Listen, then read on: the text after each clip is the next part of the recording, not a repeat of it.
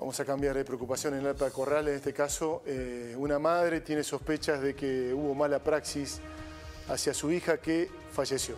Bueno, hay que decir, Pablo, que esta joven eh, estaba cursando un embarazo, según indican la familia y, bueno, vecinos de Alpacorral desde hace un tiempo, presentaba malestar, presentaba distintos síntomas como fiebre, eh, vómitos, concurrió al médico local, le, le diagnosticaron perdón, una lumbalgia y le recetaron un tratamiento con ibuprofeno.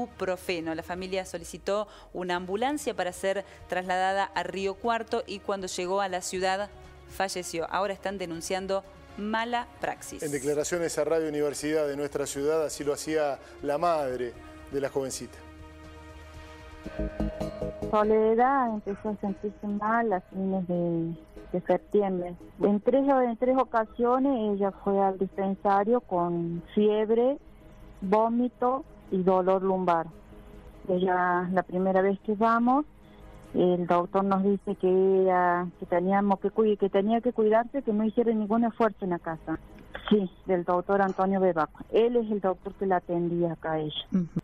Pero los malestares ella los seguía teniendo cada una semana. ¿No sería mejor trasladarla a Río Cuarto? No, no, no, me dice porque el problema de ella es esto, me dijo. Él decía que era todo por los esfuerzos que hacía, ella hacía en la casa, por eso estaba así, que no tenía que hacer ningún ningún esfuerzo en la casa, ningún trabajo de la casa y que se mantuviera en reposo en todo el tiempo. Teníamos cómo llevarla, ella le dolía tanto la espalda, pobrecita que no podía caminar, no le iba a llevar este cinco kilómetros caminando al pueblo.